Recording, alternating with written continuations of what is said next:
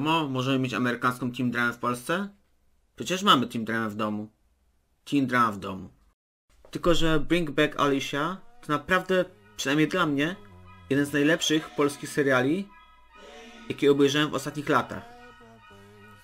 Widać tu wzorowanie się na Riverdale, 13 powodów, czy filmie Łatwa dziewczyna. Przynajmniej ja widzę podobieństwo i wbrew pozorom, w Polsce ta Ameryczka działa. Grupa znajomych, tajemnica w tle, konflikty, rozwiązania, poświęcenie, tragedia, dramatyzm i wiele innych emocji, które charakteryzują tego typu produkcje. Widać również, w jakim kierunku poszły studia aktorskie w Polsce. Nie tyle talent, co przede wszystkim wygląd. Wszyscy są tu idealni. Bujne włosy, świetne szczęki, mięśnie, jeszcze raz bujny włos. Że aż Gimperowi, Ksajo i Nitrowi włos się na głow w sumie no jakby chociaż było co się jeżyć. Polskie produkcje naprawdę idą w świetnym kierunku. Kiedy dwa pierwsze odcinki były bardzo dobre, na ocenę 8 na 10, to trzeci odcinek naprawdę zasiał we mnie zachwyt i z przekonaniem daję trzeciemu odcinkowi ocenę 10 na 10. Oczywiście nie mówię, że aktorstwo powala, chociaż Helena Engler, czyli odtwórczyni tytułowej roli, w trzecim odcinku zrobiła na mnie naprawdę wrażenie. I cała ekipa, Sebastian Della, Mila Jankowska, Katarzyna Gałązka, Marcel Opaliński i reszta ekipy zrobili naprawdę cudowny klimat. Wcześniej jednak wspomniałem, iż młodzi aktorzy teraz są głównie ładni wizualnie. Zatraca się talent, rzeczywiście.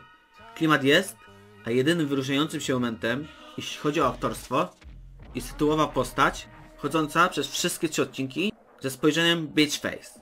Ale moment, o którym mówię, ten moment, który mnie zachwycił, ma miejsce około w 40 minucie trzeciego odcinka. Alicja rozmawia z postacią graną przez Marcelo Palińskiego, tego w długich włosach. Jej beach face przestaje być tylko wyrazem twarzy, ale również zmienia się w to, co ona mówi, w jaki sposób mówi. W końcu widać emocje, prawdziwe, realne, chwytające mnie w środku. Myślę, że właśnie to jest to, przez co trzeci odcinek jest dla mnie 10 na 10. Zastanawiając się nad tym dłużej, to może ta jedna scena to za mało, jednak mnie zachwyciła. Ciężko powiedzieć, co mnie aż tak bardzo przyciąga, że ci odcinki, razem wzięte, średnio wypadają na ocenę 8,7 na 10. Oczywiście w mojej opinii. Chciałbym, żebyście sami obejrzeli i przekonali się, za co ten serial tak bardzo łapie, iż mnie zachwycił.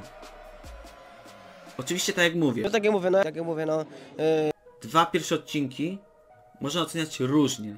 Nie są wybitne. Ale trzeci, może, może to ze względu na rozwój wydarzeń, ale mnie pochłonął. Teraz jedynie czekam na kolejne odcinki serialu, bo te wychodzą co tydzień. Chciałbym po prostu wymienić się z wami opinią na temat tej produkcji. Należy zauważyć, że duże znaczenie dla odbioru widza ma fakt danego dnia. Wczoraj, jak i dzisiaj, Potrzebowałem takich emocji, mroku, żeby poczuć się lepiej. Więc w pełni się przyznaję, że odbiór może być zakrzywiony przez to, co dzieje się we mnie. Ale czy nie właśnie o to chodzi? O nie trafienie do każdego, ale właśnie do niektórych.